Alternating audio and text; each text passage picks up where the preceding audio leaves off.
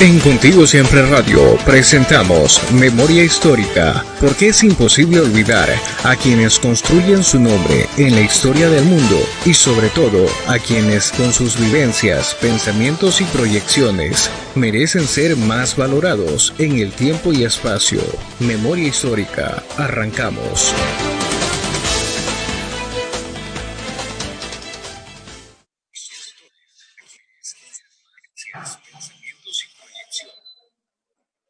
Televidentes de la provincia de Manabí, el Ecuador y el mundo. Muchas gracias por podernos sintonizar. Estamos en un programa más de memoria histórica, donde destacamos siempre los inicios, la trayectoria de grandes profesionales, grandes artistas. Y hoy tenemos el agrado, eh, me complace en presentar a alguien que, que no necesita ya presentación, es muy conocido en diferentes partes del Ecuador, incluso internacionalmente. Estoy hablando del artista Máximo Escaleras. Buenas noches, don Máximo, ¿cómo se encuentra? Buenas noches, un gusto enorme saludarte, saludar a la audiencia, a aquellos amigos que nos están viendo este rato, agradecerles por el apoyo a nuestra música, a nuestras canciones, a nuestra carrera en sí y recomendarles que por favor, si van a salir, lo hagan con todas las precauciones del caso Caso contrario, hagamos un esfuercito por tu salud, la salud de tu familia, la salud del país y el mundo. Quedémonos en casa. Así es, así es. ¿Usted dónde se encuentra en este momento? ¿En qué ciudad? Bueno, yo estoy, yo estoy en Quito este rato en mi, en mi casa, tú sabes, eh, en casita como, como todos creo, y, pero agradecido con Dios y con la vida. Así es. No, don Máximo, eh, Queremos empezar destacando un poco, recordando un poco sus inicios. ¿Cómo así nació esto de, del mundo del amor por el canto? ¿De dónde nace? Bueno, a mí, a mí siempre me gustó la, siempre me gustó la música. Yo creo que desde, desde que era muy niño, según me lo han contado las personas que tienen un poquito más de años que yo, mis primos, gente que me conocía desde niño, y creo que ahí fuimos cultivando, cultivando eso. Pude grabar yo cuando ya tenía 22 para 23 años mi primera canción, ya hace de eso 32 años. Bien, eh, tal vez puede recordar, eh, yo lo sé, pero tal vez usted nos puede recordar cuál fue su primer éxito, que incluso fue compuesto por usted. Usted es cantautor, ¿no? Bueno, efectivamente yo soy el autor de la mayoría de, de mis canciones y la canción con la que empecé se llama Cargo de Conciencia. Es una canción de mi autoría y una, con una historia bonita cuando yo grabé por primera vez esa canción. Eh, tal vez algo, sus canciones tienen algo que lo identifiquen, algún, algún recuerdo, alguna acción. Bueno, yo creo que el, el compositor en sí le, le, escribimos a esa musa de la inspiración, que son las mujeres, pero también se escribe al amor, al desamor, a las cosas que pasan con nuestros amigos. En el caso de, la rocola, que es con la que empecé, ese poco de sentimientos que se expresan a través de las composiciones de las letras y luego interpretadas por, en este caso, mi, en mi caso, perdón, como cantautor, pues lo que escribo canto y a veces conjugo con las historias no necesariamente mías, sino las que les han pasado a muchos de mis amigos. Así es. Eh, tal vez recuerda el momento de cuál fue la parte clave para poder ingresar ya profesionalmente o quién le dio la oportunidad. ¿Cómo, cómo recordamos eso? Claro, cómo no.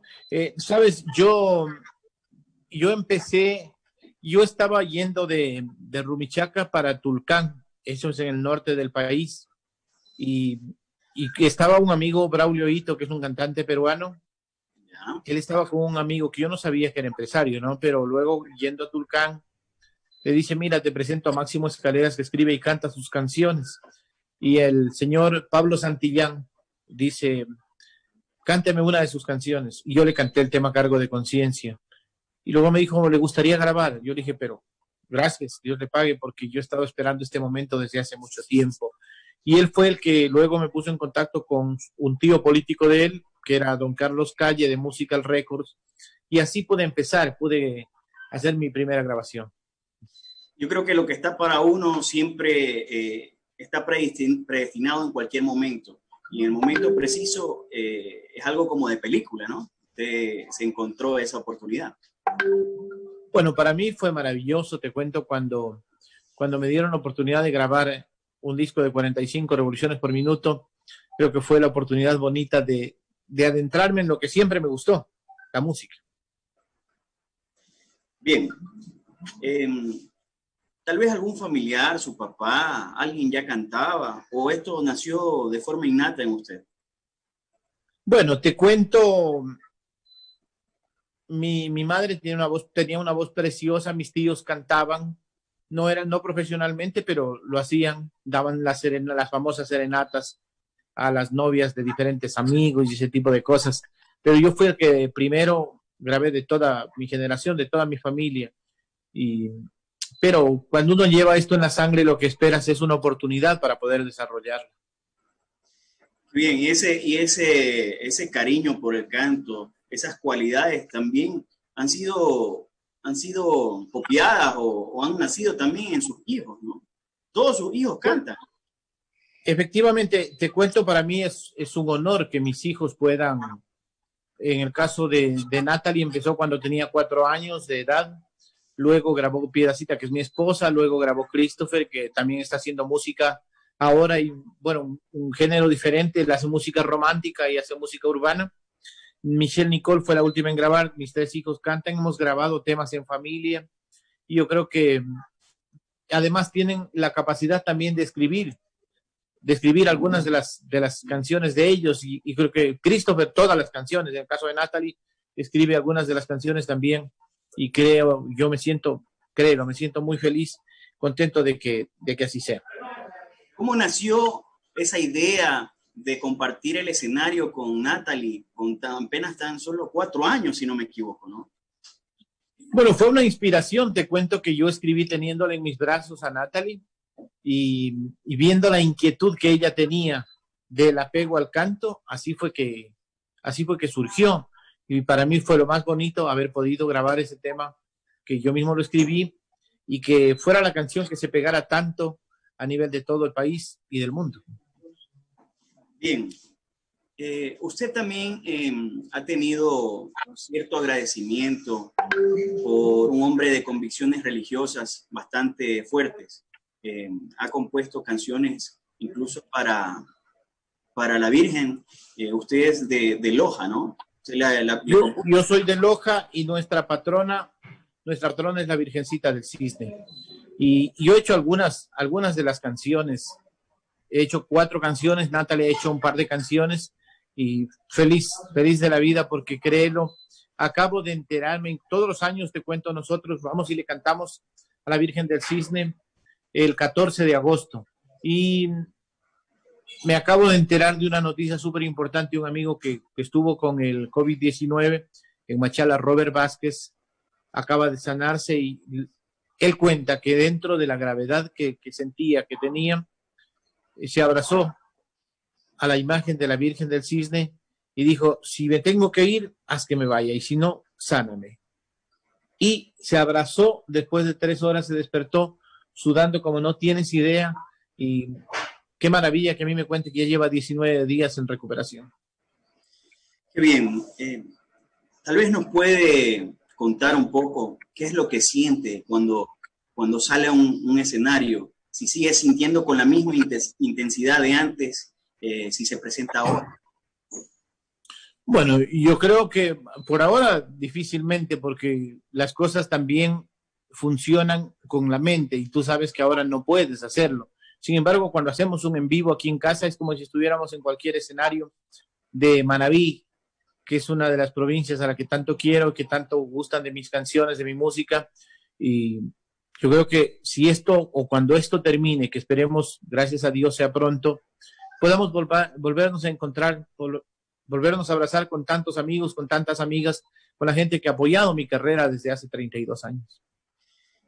¿Recuerda alguna anécdota, algo que lo haya hecho sentir triste eh, en su momento, en su carrera profesional? Eh, bueno, yo creo que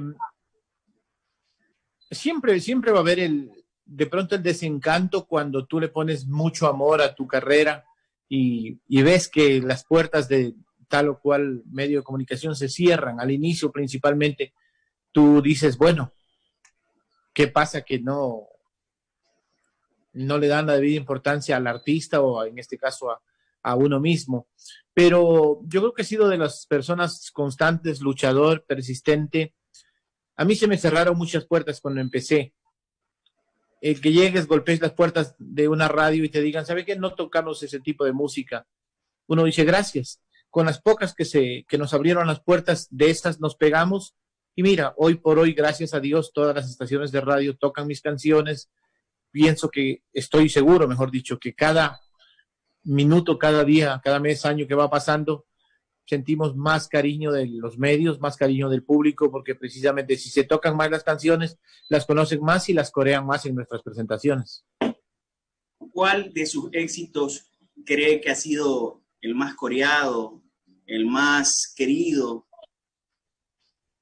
Bueno, yo creo que la canción, sin temor a, sin temor a equivocarme, la canción que más, eh, más se ha coreado y a la que estoy seguro le debemos nuestra, nuestra carrera es precisamente El Auto Fantástico, la canción que yo grabé cuando mi hija tenía solo cuatro, cuatro años de edad.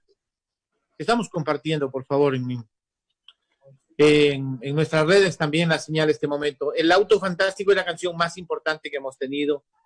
A esa le debemos la oportunidad de ser conocidos a nivel nacional e internacional. De ahí que han venido muchos otros éxitos, pero definitivamente yo me quedo con ese tema como el tema insignia como el tema favorito de nosotros. ¿Qué sentías en ese momento cuando estabas con Natalie? Ya un sinnúmero de mezclas de, de, emociones, de sentimientos, al ver que esta canción pegó y qué mejor con, con tu niña tan pequeña. Bueno, fue maravilloso porque imagínate un niño a los cuatro años no siempre puede hacer lo que Natalie Silvana hizo, interpretar canción, aprenderse una canción completa, cantarla y el público fue tan generoso en aceptarla a los 15 días, yo recuerdo la pusimos como segundo corte porque pensábamos de pronto, el tema Eres la razón de mi vida, que también es un gran éxito, esta canción va a pegar. Se olvida en ese rato, en esos tiempos, el locutor hacía todo, hacía de DJ, hacía de todo, de presentador de las canciones, y decíamos, pues se olvida y va a sonar. Ocurrió todo lo contrario. Primero pegó la canción El Auto Fantástico, mi niña y yo, y luego pegó todo ese disco, porque es un, disco que nos llevó a nivel de Latinoamérica, a nivel de los países de habla hispana. Si Máximo Escaleras no se hubiera encontrado esta oportunidad, no hubiera descubierto este talento para emocionar a tanta gente con su canto, tal vez en qué otras instancias, en qué otras labores ¿En qué otra profesión te hubieras eh, enmarcado a seguir? Bueno, mira, yo creo que me hubiese, me hubiese gustado igual estar en las tablas, en los escenarios. Me hubiese gustado ser presentador, me hubiese gustado ser locutor. Yo siempre admiré, siempre admiré desde niño a quienes tenían ese poder de convocatoria. Por ejemplo, al, al sacerdote que se paraba, se para frente a una iglesia y todo el mundo le hace caso a lo que está haciendo. Entonces, es como un poco la emoción que tú sientes al, al, ser líder, al estar frente a un público y que el público, en mi caso, pues orgullosamente ahora te aplauda y te regale tanto, tanto cariño. Creo que eso es una, un regalo de Dios maravilloso. El canto le ha permitido a Máximo Escaleras eh, vivir cómodamente eh, o tuvo sus, sus momentos difíciles. Siempre hay de todo en la vida. Yo creo que por bien, yo tengo una familia hermosa, tengo una esposa que nos, nos queremos, nos amamos mucho, igual con mis hijos. Eh, sin embargo, creo que todas las cosas a veces tienen sus altos y bajos y menos si no eres organizado. Hay que saber ser organizado en la vida para que también esas cosas te den resultado. Yo siempre he dicho que lo que tengo, lo poco que tengo, eh, lo he obtenido gracias al canto, a la música, a mis composiciones, a mi voz, a la voz de, mi hija, de Natalie, de, de, de, Michelle Nicole, de Christopher, de Piedacita, lo hemos hecho conjuntamente todos. Entonces, eh, yo siempre le doy gracias a Dios porque me ha dado la oportunidad de darles la comodidad que, que mi familia se merece. Con esto que está sucediendo en el mundo entero, ¿cómo ves, eh, cómo te ves de aquí a unos 10 años eh, con tu profesión? Me gustaría, bueno, voy a ser siempre positivo, porque ese es el lema de Máximo Escalera, siempre ha sido eh, tener la frente en alto positivamente con sueños a lo grande. Esperemos que pronto, yo por lo pronto, no quiero hablar de qué, qué pasará a corto plazo, porque sabemos que esto, por lo menos tenemos para un año de para quienes hacemos música, los amigos DJ, a quienes les mando un cordialísimo saludo que nos están escuchando, de pronto a, a los presentadores, estamos un año, de seguro vamos a tener mínimo un año de, de para, pero alguna otra cosa habrá que hacer o se nos ocurrirá o Dios, la Virgen nos iluminarán para que nos defendamos en la vida, pero luego habrá que retomar esto y con la fuerza que siempre dejo manos de Dios todo, que Él nos dé y que el público reaccione positivamente a lo que hemos venido haciendo. ¿Por cuántos países te has podido, has podido pasear este talento? Cuéntanos un poco. Bueno, yo he tenido, he tenido la oportunidad, el, bueno, el sueño, mi sueño siempre fue cantarle a mi país primero. Y creo que lo hemos logrado, le hemos cantado completamente al país, pero luego nos abrimos a, hacia los países hermanos. Fue creo que primero Colombia, luego fue Perú, hemos ido a Venezuela, hemos ido a los Estados Unidos, hemos ido a Canadá, en la Unión Europea, a nombrarte países como España, como hemos estado en Francia, hemos estado en Suiza, hemos estado en Inglaterra, hemos estado en Alemania, hemos estado en Italia, eh, por nombrarte algunos de los países donde, donde hemos estado, España creo que lo conocemos, creo que las 50 provincias que, que tiene España, de alguna u otra manera hemos estado en ellas. Cuando estabas eh, recién iniciando, tal vez admirabas algún artista Sí, y mucho. Eh, yo crecí con la música de Julio Jaramillo, con la música de Máximo León, lo escuchaba y, y, creo que cuando tenía ya 14 años, escuché por primera vez a quien se nos acaba de ir, Claudio Vallejo. La canción Tendrás que recordarme. Eh, luego tuve el logro de ser su amigo, de conocerlo, de compartir escenarios dentro y fuera del país con él y mi más sentida nota de pesar para sus familiares, para para su esposa, para sus hijos. Eh, hemos perdido el país en sí, estamos de luto porque los artistas hemos perdido a un gran intérprete, a un gran amigo, un gran ser humano, un gran compañero, y creo que el Ecuador también. Y los países donde él tuvo la oportunidad de presentar sus canciones. Así es, así es. Se ha perdido una riqueza eh, muy importante en el mundo del canto. Y no solo eso, también esa calidad humana que, que, entregaba, porque lo más bonito, lo más lindo de un artista es siempre mostrarse así. Eh, me atrevería a decirlo así como tú y te felicito porque siempre demuestras esa sencillez, esa calidad humana por donde quiera que vas. Bueno, eh, yo, yo siempre lo he dicho y lo voy a decir una, una vez más. Creo que para mí la, la mayor riqueza que me dio mi padre y mi madre ha sido la sencillez y yo siempre le pido a, Papito Dios por eso mientras tú seas sencillo, creo que tienes todo, tienes amigos, tienes gente que te apoya, porque de nada te sirve si algo la vida y Dios te han permitido tenerlo, te sirve a ti. Y lo debes disfrutar con tus seres queridos, con tu familia, porque de qué te sirve presumir si a nadie le interesa ni a nadie le importa, si no va a ser beneficiado con lo que tú tengas o, o, o puedas conseguirlo. Al contrario, tienes que ser siempre grato primero con Dios y grato con la gente que, que, son quienes apoyan la carrera de uno. Máximo, bueno, ahora por la emergencia tal vez no, pero si visitabas eh, al amor cada vez que podías visitabas. Bueno, yo visito siempre al amor, de hecho yo estuve cantando en agosto, eh, estuve con, mi gente en, en Al Amor, eh, estuve, voy siempre, estuve en diciembre también con la gente, nombraba agosto porque inclusive voy a pasar unos días ahí. Te cuento, nosotros todos los 14 de agosto le cantamos a nuestra Virgen del Cisne, a nuestra Reina, y voy con toda mi familia. Y aprovechamos para quedarnos también unos días en Alamor. Además, porque por la fe que tenemos de cantarle siempre a nuestra churonita el 14 de agosto, nos salen algunas presentaciones por ese sector. Entonces aprovechamos y nos movemos desde ahí para allá. Además, porque hay, hay un significado muy importante para mí muy sentimental. Nosotros eh, tenemos la casita pequeña que era de mi madre, es nuestra. Y cuando yo canto cerca, me voy a dormir en esa casa porque, insisto, el recuerdo sentimental es lo más bonito, lo más maravilloso que puedes encontrar al llegar y recordar a tus padres.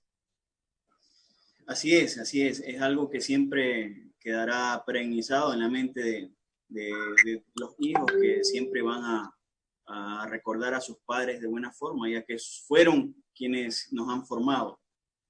Em, también eh, eh, pude conocer un poco de que tu esposa también cantaba, cantaba ¿no? Bueno, con Piedacita grabé algunas canciones, El divorcio, La secretaria y el jefe. Tenemos una que se llama Problemas de hogar, Discusión de pareja, que tiene millones de reproducciones en YouTube, que son canciones que el público las hizo suyas. No nada de ver, nada que ver con divorcio ni mucho más, al contrario, nos llevamos muy bien, pero es lo que vive el pueblo, lo que vive la gente, lo cotidiano. Entonces, si tú enfocas eso, creo que de alguna manera también estás más cerca de la gente.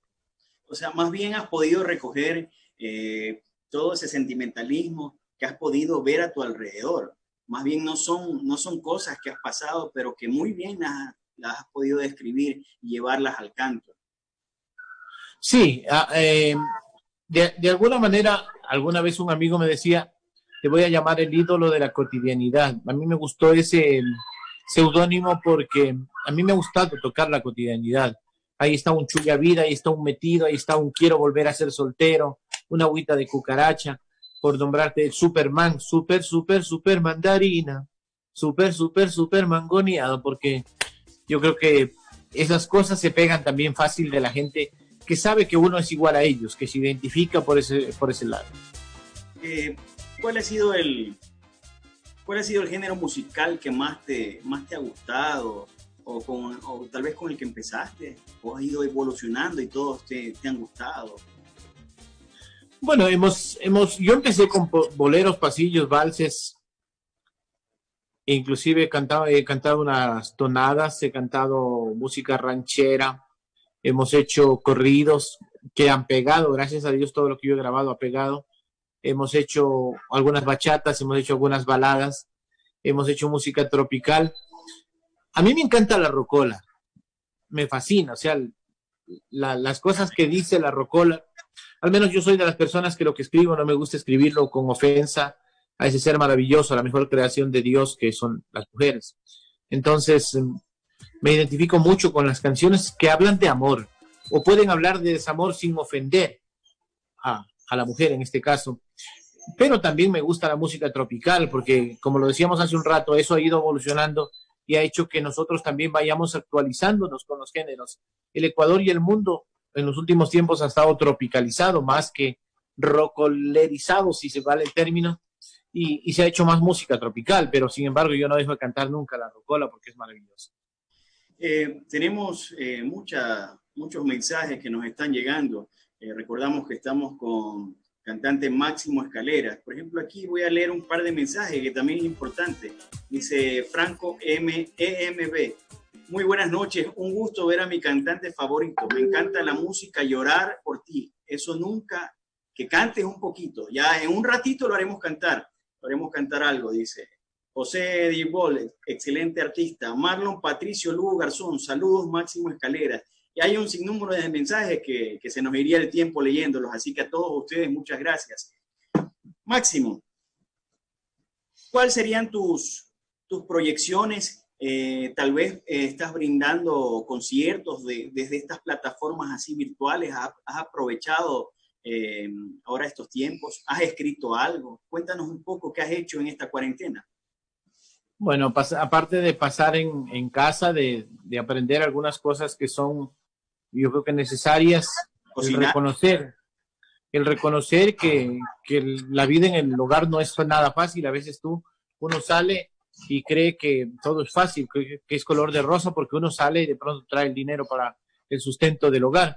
Pero no, yo creo que he aprendido mucho, primero a convivir realmente, pese a que yo soy muy casero, a convivir con mi esposa, con mis hijos, a, a meter mano también si tengo que lavar los platos, si tengo que cualquier cosa hacerla, pues la hago con el mejor de los gustos.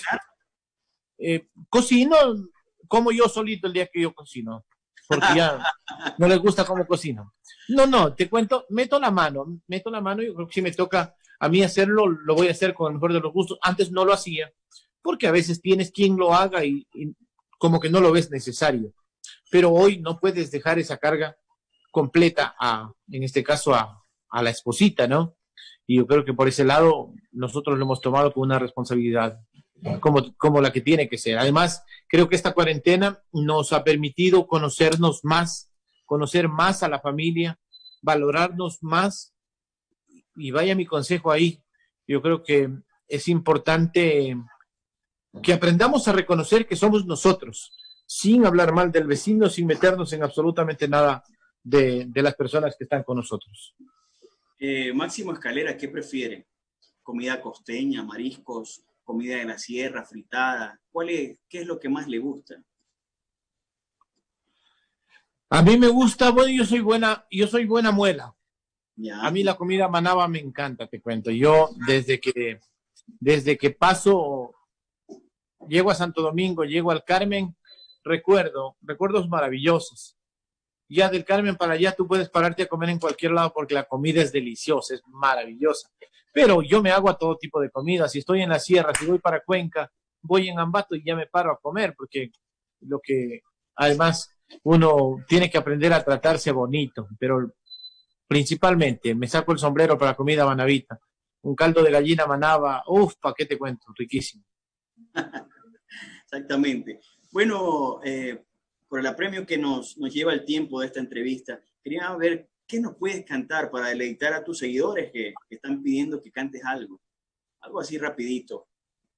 Claro que sí. Bueno, no sé si de pronto hago un mix un poquito, un poquito, un poquito de, de algunos de algunas de las canciones eh, y recomendarles, recomendarles que, que ingresen a nuestra página de YouTube o a nuestra página de Instagram, Instagram nos sigan. Hay algunas eh, canciones, cosas, bueno, más de 250 canciones, videos, para que ellos los puedan ver. Y ahí están canciones como, por ejemplo, que chu, que chu, que chu, que chu, que chu, que chu, ya vida, que chu, que chu, que chu, que que que me pegué, chumadito, voy por la vida, gozando de mi fortuna, porque mañana que muera, la plata para qué quiero. Vive, vive tu vida hoy, como si fuera el último día de tu vida. Haz el bien sin mirar a quién, lleva la vida en paz con Dios y con el mundo. No sea que mañana te toque partir y amigos ni enemigos ni adiós puedas decir. Quiero volver a ser soltero para a nadie mantener. Linda es la vida del soltero trago y mujeres a escoger. Triste es la vida del casado, de un carajazo a mantener. Yo de soltero vacilaba todas las playas sin parar. Ahora de casado me ha tocado ir a los mercados a comprar. Por ejemplo, esas o el me gusta la farra, las mujeres buenas, vivir con amigos, paseando botellas. Me gusta la vida, me encanta el amor, soy aventurero con el corazón. Ya a mí me gusta la parranda. Bueno, algunas de las canciones que, de las que tenemos. Bien, bien, muchos éxitos, muchos éxitos. Eh, calidad de música que estamos escuchando. Aquí me llega un mensaje, dice Máximo, tal vez alguna vez haría un homenaje a Claudio Vallejo. Sí, eh, yo lo dije hace un rato, se nos fue un, gran intérprete, un gran compañero, un gran ser humano. ¿Y por qué no? Eh, el día de ayer yo apenas me enteré en nuestra red de, Facebook, compartimos mm, tantos de los éxitos que Claudio grabó a lo largo de 40 años de carrera. Él tuvo 40 años de carrera y, la gente ponía, ponía sus comentarios. No descartamos de pronto a, a que sea el jueves, viernes, que podamos rendir un homenaje con canciones. Te cuento, Claudio escribía, escribió algunos de los temas, no era autor de muchas canciones, pero sí escribió algunas de las canciones. Y por qué no, con el mejor de los gustos, hacer, eh, hacer un homenaje a un compañero que, ya no está con nosotros, pero que su legado sigue a través de la música. Sí es. Eh, Máximo, ¿cuál puede ser tu mensaje para todos aquellos jóvenes que sueñan y sueñan en grande para poder llegar, así como tú, muy alto? Tal vez algunos te tengan como, como un ídolo. ¿Qué le dices a ellos? Bueno, primero que hay que ser persistente en la vida, que hay, tener, hay que tener fe, mucha fe en Dios, en la Virgen, eh, mucha fe, optimismo en nosotros mismos, que hay que ser constantes, perseverantes y que si Dios les da la oportunidad de de pronto tener dinero o de sonar con una canción, hay que seguir pisando en la tierra. No se pierdan porque ese es el error. A veces creemos que lo tenemos todo y luego nos damos cuenta que cuando estamos en el piso, recién nos acordamos que hay un Dios al que tenemos que suplicarle que nos perdone, que nos guíe, que nos dé otra oportunidad. Yo creo que no. Hay que ser persistentes y organizados en la vida. De esta es una carrera como todas, la que se la debe manejar con muchísimo respeto hacia el público, porque son quienes nos ponen en el sitio que ellos quieren que estemos. Eh, una última pregunta, Máximo, con lo referente a lo que decías. ¿Tú crees que que llegaste a conquistar todo o todavía te falta algo más para sentirte totalmente realizado? Considerando que tienes una linda familia, eh, has llegado a conquistar a todos, a todos tus seguidores con el canto. Tal vez te hace falta algo en tu vida. Bueno, yo creo que soy de las personas que sueñan en grande para que con lo poco que voy consiguiendo ser feliz. Creo que respecto a la familia, lo dije hace un ratito, tengo una esposa maravillosa que es mi vida, que me entiende, que me ha servido apoyar. Tengo tres hijos que son la razón de mi vida también.